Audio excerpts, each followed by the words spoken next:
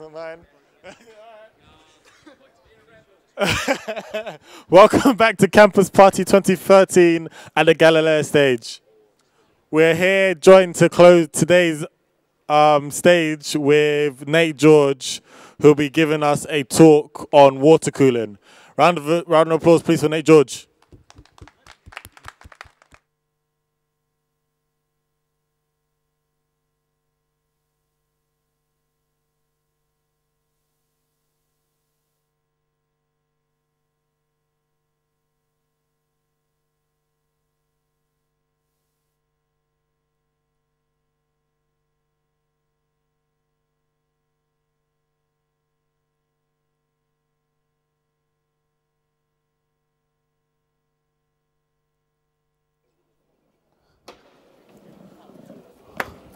Check.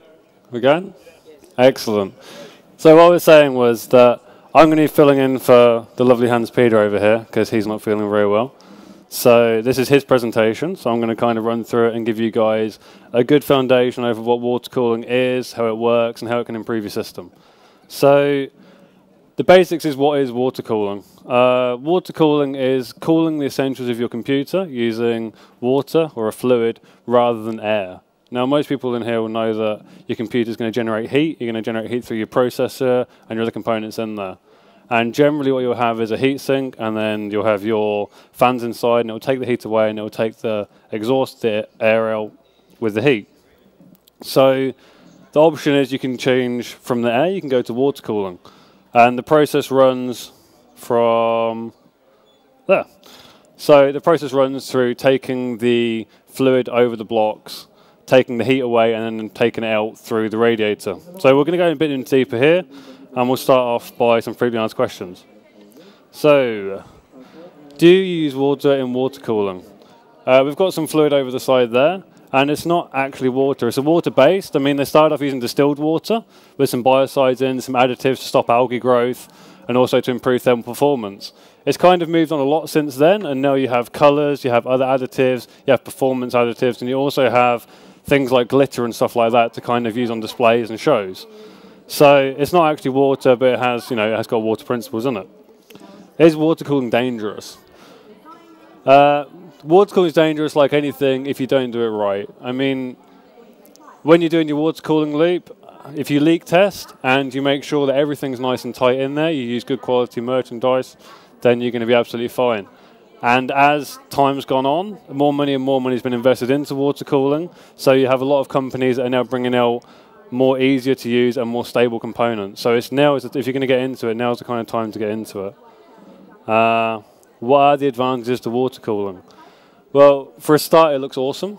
Like if you've got a case window and you're looking at your computer and you've got water in there and light, it just looks incredible. It looks so much better than air cooling. So that's probably number one. Uh, you're also going to have a lot lower temperatures, which means you're going to be able to push your system harder. Uh, and it's going to be quieter. I mean, if you have your fan running on your heatsink and you have it running at full blast, it's creating a lot of noise. Or if you go with water cooling, you can have your pump running at a low RPM, and sometimes you won't even need to turn your fans on. So you can literally run your system completely fanless. Uh, and we are away again. So, the components of a basic water cooling system are... I'll come over here now. we have the pump, and we've got an EK pump here, which is kind of on the lower end of the market. We run through right from the EK pumps, which probably range at about 30 pounds. We can go right up to some higher end pumps, which can be around 70 to 80 pounds, or even higher. Uh, they're all quite good. I mean, the higher end you go, generally you're going to get a better flow rate, you're going to get lower noise, lower vibrations. So you kind of have to balance up what your budget is against what you need to go for. So that's the little EK pump there. I actually use one of these at the moment as a little stand-in, and it's pretty good. It's a little bit noisy at times, but it does the job and it keeps everything cool.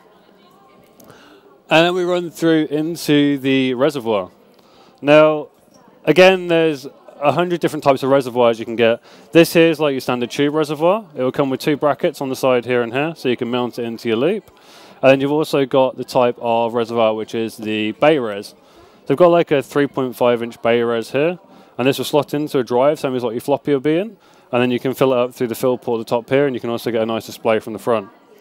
So both both are easy. You know, you get these in 3.5, you also get these in 5.2 instead of a DVD drive. Both are great. Uh, what you want to remember when you're doing your reservoir is that when you're setting up your loop, you want to try and put your reservoir in a higher point in your system, because it's going to make it a lot easier to fill your loop. Because what you want to do is you want to prime your pump. So you want your pump drawing in for the inlet being underneath the reservoir, so that when you put your reservoir in, you can put a fill loop up from here, or you can just put a funnel on the top. You can put the water in. That's going to run down here, prime the pump, and then when you turn your pump on, you're ready to go. Next, we have the fans. I have no fans here, but everyone knows what a fan looks like. They go on the radiator and they assist in blowing the air through the radiator and then cooling the radiator, which in turn cools the loop down to a room ambient temperature. Uh, you can either put the fans on in a pull configuration or a push configuration. Either one's going to work, but one's going to create a lot more dust on the other side. If, you put, if you put your fans on here and you're pulling air through, you're going to get a lot of dust on this backside. So you can just stick a hoover on there and quickly get rid of it. If you've got it on a push configuration, you're going to draw the dust into the fans and it's all going to get stuck. And you have to take away the whole you know, thing to get actually into it. So pull's a bit easier to actually clean. And fittings. On the fittings, there's three real types of fittings you can go for. And I'd say the most popular the moment is a compression fitting because it's easy to go for quick and easy and really stable. But you've also got the barbs like we've got here. But the problem with the barbs is, is if you're using a tubing which is slightly too big and you're not confident in the tubing, it, with the pressure it can pop off or it can work its way loose. Now you can get like a, a zip tie or a Jubilee clip or something like that which I've got here. So you've got like a Jubilee clip here with like a Phillips head on the side. You can undo that, put that over the top of the tubing and then tighten it up and that will hold it in place and keep it from falling off. But uh, personally, I think for anyone that's just starting water cooling to go for a compression fitting because you've just got so it's so much easier. You just thread the tubing through here and then mount it over the top and then just tighten it up. And once you've screwed it together, you'll feel a bit of a tightness and then that will be a really solid hold that will never come undone. You'll really struggle to get that undone. So even with the pressure of you know two or three D5 pumps, which are a really powerful pump, you're still not going to pop off a compression fitting, and it's nice and quick. Uh, the other fitting you have is like a push fitting, which I haven't got here, but that basically needs a stronger like PUR hose, and then you just literally press inside, and it's got a little clasp inside that holds onto the hose. It's really quick and easy, and it was, you know, when water cooling first started, it was what everyone was using, but things have moved on now onto the safer option of the compression fitting. So I'd say look at your options, kind of weigh up how confident you are with it. I mean, if you're a plumber by trade, then you kind of know what you're doing, but if you have never done water cooling before, then go for a compression fitting without a doubt. Uh, hoses. Now, hoses go on from the fittings quite nicely. Once you've chosen your fittings and you've chosen something you want to go with, that kind of denotes on your hose in the same way around. Because obviously you get different colored hoses and different colored fittings and stuff. Once you've chosen the type of hose you want, the type of fittings you want, you kind of match them two together, and then you're away to go. Uh, the different hoses you can get, like this here's Tygon, which is kind of renowned as the best brand to use. So it's nice and flexible, and you can get a really good bend on it without the hose kinking. Uh, it is quite soft though, and it does tend to take on the dye if you're using like a dye from a liquid. It tends to take on that. So have a look through different hoses, kind of work out what you want to do, look at the reviews of the hoses, go into the forums and look at what people have used, and that's probably the best way to work out what you need to do for your own loop. And the fluid. Well, I've kind of done the fluid in the last one, so but yeah, so like I said, the fluid, you've got different colors, different styles, and there's so many different brands out now that are all trying to kind of compete with each other to get the best on the market. So it really does pay, especially like I said, in water cooling now with all the competition, it really pays to look on the market and see what's going to be best for you at this point in time. But uh, that's that slide done, I believe.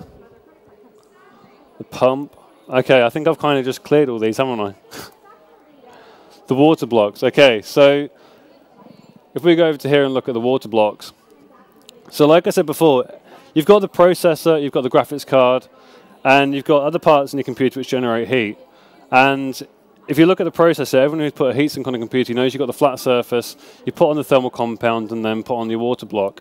Uh, it's the same principle with the water block. You can see on the back here, it's got a copper and a nice smooth surface. This is the contact surface. It's going to go onto your processor.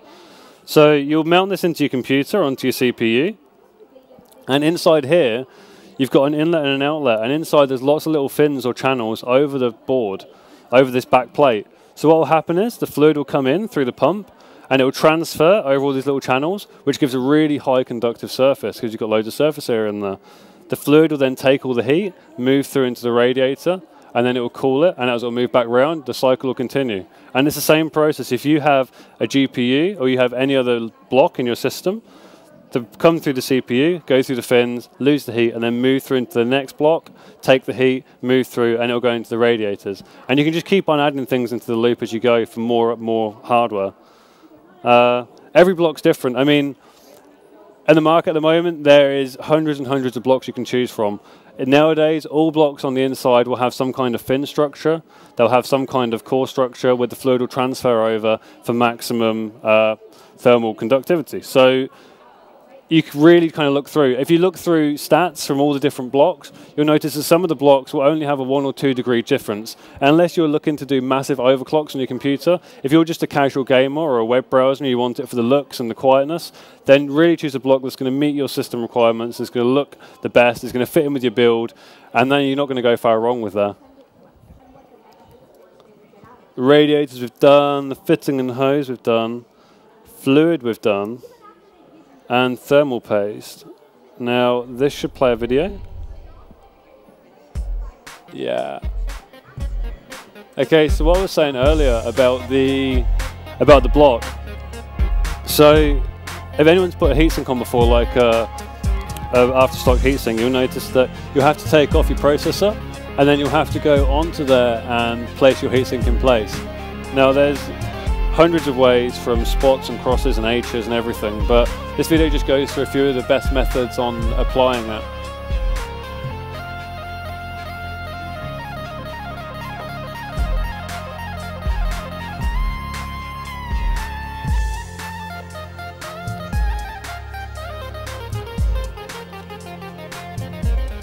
And what this is doing here is basically when you're connecting two surfaces, so you can see the processor surface there.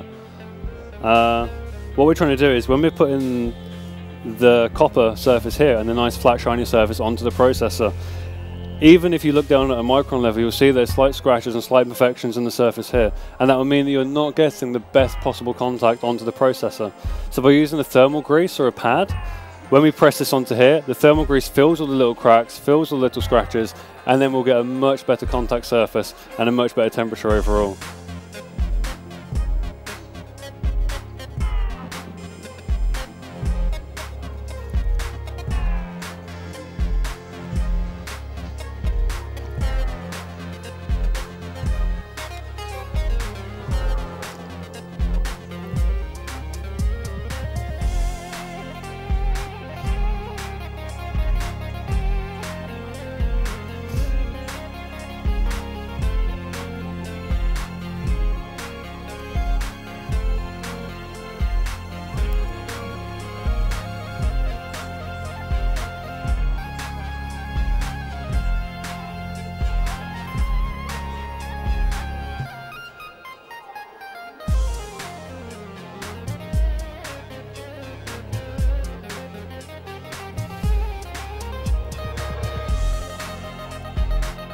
We've got the cross method here, which is probably the two most popular ones must be the cross method and also the spot method in the middle.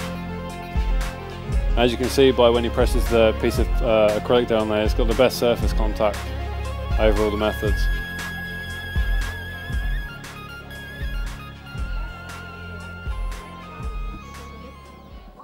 Okay. So next in the slides we have the actual setup. And again, I think I've actually kind of covered this in a little bit of detail a little bit earlier. So, I mean, if anyone's got any questions after, we can go over everything uh, in a lot more detail uh, afterwards in the Q&A session. But, I mean, the basic principles are in here, like I was saying. You have the reservoir and the pump. Uh, and then as you work in the loop, you can add more radiators, you can add more reservoirs, but the main thing to remember is to keep the reservoir, so the pump's drawing directly from the reservoir. Uh, but that is that. We have another video now, Hans. okay, so we've got the CPU blocks, uh, which is relatively easy to fit in. Uh, it's simply the same as any kind of stock heatsink. You will take off your normal stock heatsink or your aftermarket heatsink, and then you'll have uh, four screws that will go in here. That will fit on with thermal paste on the back, and then you'll have a backing plate, and then you'll screw on from the back of the motherboard. Really simple. When you get into the graphics cards and things like that, as you can see on there, it starts to get a little bit more complicated as you have a lot more screws uh, to fit into place.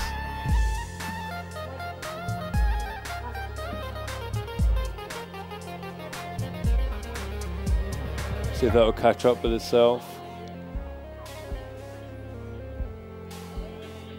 I think you're struggling a bit there, Hans.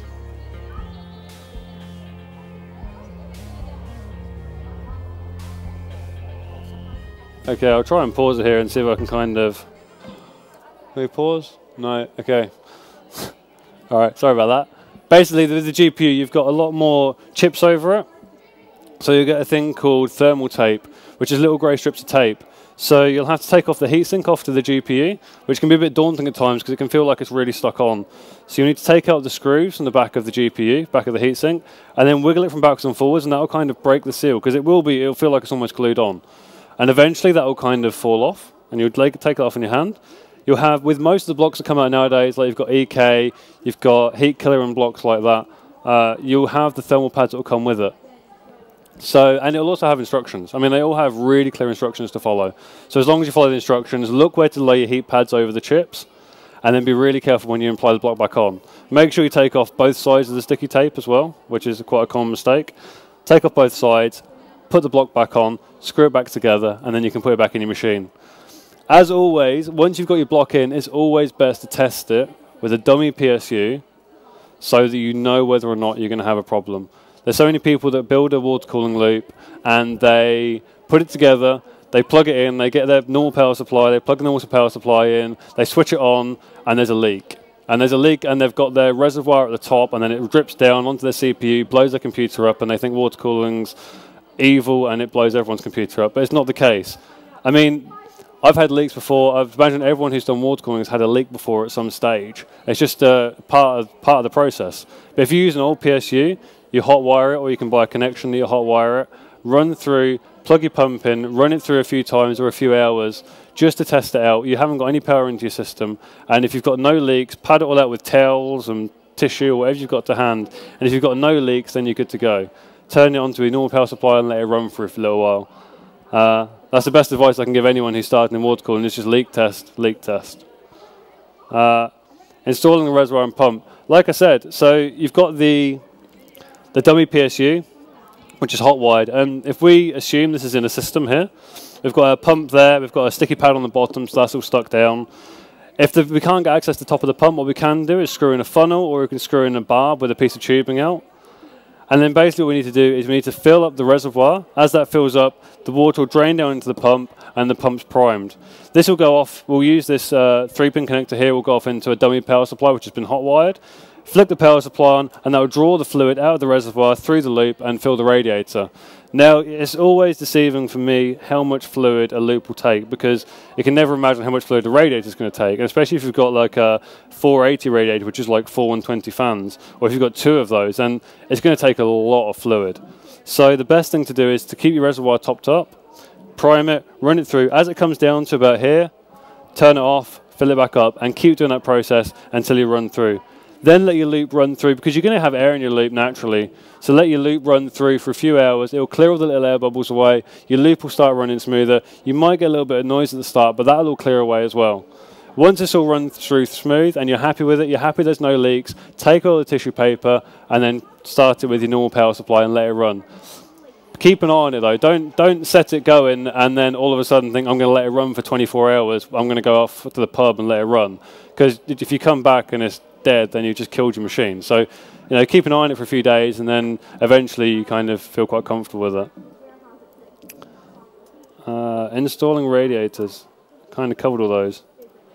Okay, I think that that's it for the slideshow. But the other thing that's not on the slideshow is maintenance, which is a big thing that everyone says about water cooling. They say, if I'm going to put water cooling on my computer, when I've got an air cooler, all I need to do is just dust off, hoover out, and then it's finished. Uh, if I've got water cooling, is it going to be absolute nightmare to look after?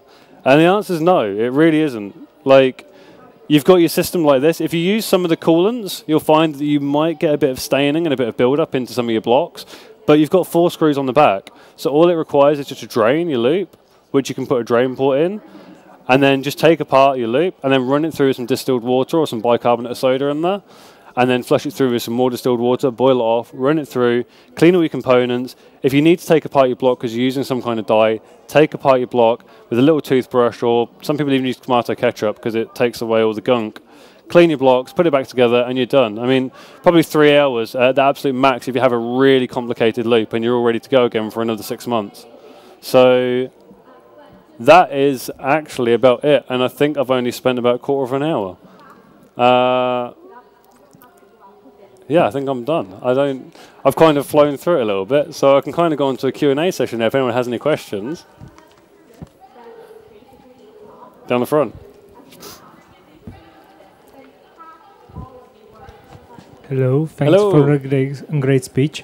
I want to ask you, could you recommend me some uh, good brand of uh, thermal paste, and how often should I replace uh, the thermal paste from the CPU, How would you raise or if should I replace it? Uh, I, there's so many thermal pastes out at the moment, and I know a lot of them are all made in the same place. I mean, you've got like I think Gelid have brought some new ones out now. You've got IC Diamond have brought some new ones out, and it looks like every week there's a new one coming out. And I think in this day and age, everything I've kind of looked at has always been so tight on temperatures between the different thermal pastes. I mean, you go back a few years ago, and you were finding it'd be like five or six degrees between different types. Whereas now you look at it and it's like, oh, this one's 0.5 degrees better. So I think the same as everything with computers nowadays. There's so much social integration with it. You can go on there and you can check out and you can look on, you know, one of the forums and they'll have ten different guides on which is the top thermal paste to use at the time. So I would say have a look on there, have a look on the forums and see what's trending at the moment because every week there's a new one, there's a new bestseller. So I'd say we'll see, like, have a look on there and see what's hot at the moment. As to when to replace it, uh, it's a tough one. I mean, I generally replace mine every year when I clean my loop. Uh, I'll take it off and then replace it. Uh, but I don't know if there's a particular time scale in which you're meant to replace it. I just know that I service my loop. Well, I service my loop every six months to every year, and at that point, I'll always replace it. So that's my time scale. I don't know if anyone has a different time scale, but I think six months is a is a. I think I'm probably overkilling it a little bit to be honest. But uh, yeah. Uh, okay, have you ever heard something about suspending parts of the computer directly in oil?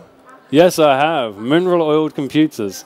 Uh, that wasn't too long ago. There was a, I saw a, a log on BitTech uh, from Lego Man who built his first mineral oiled computer. Uh, I heard it didn't go too well. I heard it worked. It worked for a while, and then his seals he had on all his O-rings, he hadn't used the right kind of rubber, so the mineral oil he'd used ate away at them, and then all his O-rings degraded and died. Uh, I know it does work. I've forgotten what the company name is, but there is a company that builds these absolute beasts of computers uh, and has them suspended in oil, and they run incredibly well. But you've got to have pretty big kahunas to even consider doing it, especially from a scratch build. But it will work. I mean, it will. It's been proven that it will work. The temperatures are great. It's completely silent, so if you if you're feeling confident, then then go for it. Just make sure you put a log on the computer so everyone can see. Like, yeah, I'd go. Yeah. Okay, thank you.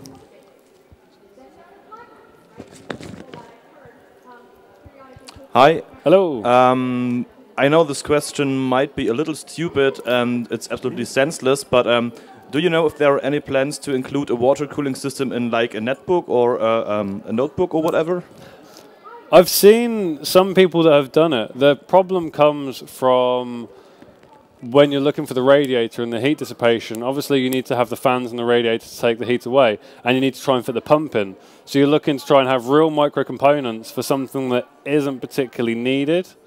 Uh, there's not a lot of many laptop and netbook users out there who are looking to overpower their computer with the kind of processes you need to have water cooling. And the silent factor, I mean, most laptops nowadays are pretty much silent anyway. I mean, you can take a MacBook and put up to 70% fan power and you can barely hear it. So I mean, people have done it just for kicks. But I've seen people that have done it and they have a, like a briefcase next to them with their radiators and fans in, you know. So so it's possible. I mean, anything's possible, but it's it's kind of, you know, do it if you can, just because you can, kind of thing.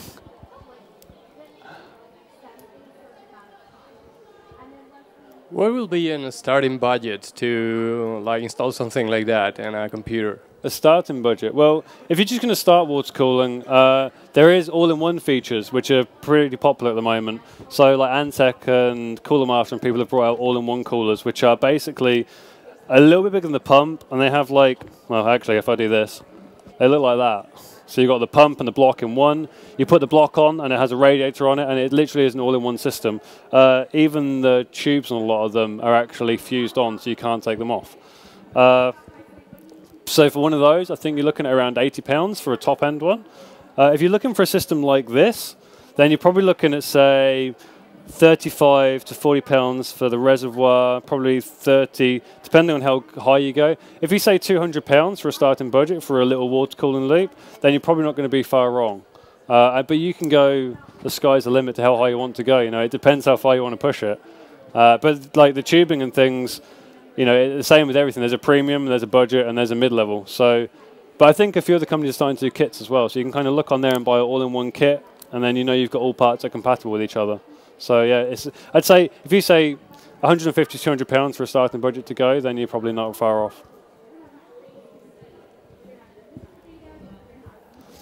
Hi, I would like to know about the, you know, it's, uh, it's been a while since I installed one of those, but I would like to know about the reservoirs. Yeah. Uh, what would should be the like the side? How many liquids should should should I have? Is just just to be able to feed the pump, or the bigger the the bigger the, the reservoir is, the better cooling I'm gonna have. It's not. I mean, the bigger the reservoir is only going to have a slight impact on the cooling because your cooling is only ever going to go into ambient temperature. Because if it goes below ambient temperature, you're going to get condensation on the loop, and that's going to be really bad having water in your system. So, the main thing, I mean, some people don't actually have a reservoir. You can run if you if you're a bit more advanced, you can run a line where you literally just come up to the top of your case and have a T piece. Uh, so you'll have a fitting that kind of looks like a T, and then the spur will come off, and that'll be your fill line, and then the T will run through. But then you've only got, say, this much tubing going top of your case acting as a reservoir. So the good thing about having a reservoir is you can always see your fill level. You can always see how much fluid you've got. It's really easy to fill up, and it looks a lot cooler having a, a tank of water suspended in your case. Uh, but I mean, for the size of it, I mean, the, the and let's say it's again, unless you're really pushing your system, you're not going to notice having like this massive, great thing. Like if anyone's seen Pope's log on the computer, you'll notice he has this massive, like two liter reservoir or something. I don't know if he's noticed any uh, improvements in his no, no improvements in his cooling. So, so no, I think, I mean, it's nice to have a reservoir that will hold enough. So when you prime your loop, you've got enough leeway, so you're not going to empty it instantly. So it's a really something about that size is great for a, for a first loop, I'd say. Wouldn't if lower your budget if you just use a fill port? Yeah, yeah. If you came up with a fill port, I mean, you can come up. That's what I was saying. If you came up with a fill port and a little bit of tubing, you can lower your budget. But the thing I found when talking to people that were just starting water cooling is they were having they were using their fill port. They were having a little bit of tubing coming out of the pump and going to the top as a fill port, especially in micro ATX cases. They were having that. They were filling the fill port up and leaving the tubing. They were priming the pump, and as soon as they were hitting the power switch on the on the PSU, it was draining it, and they were running the pump dry. And if you run a pump dry, you're basically just killing it. You might as well just take a hammer because you just it just squeals and it's horrible. So. I always tell people no, that if they're going to start a new loop to get a half decent sized reservoir so they've got enough leeway because you can tell people all day long that make sure you switch it on, switch it off, so you're not using it. But at the end of the day, it's always best to have a, you know, if, you, if you're just starting, I mean, once you get a bit more advanced, then run with the fill port. But then, like I say, some people don't even have that. So I'd say if you're just beginning, then it's, it's a safe bet to go with a reservoir. Anyone else? Round of applause, please, for Nate. And that's the end of today's session at Galileo. Join us tomorrow at 10 o'clock with Paul McKnight and Competitive Robotics. Thank you very much.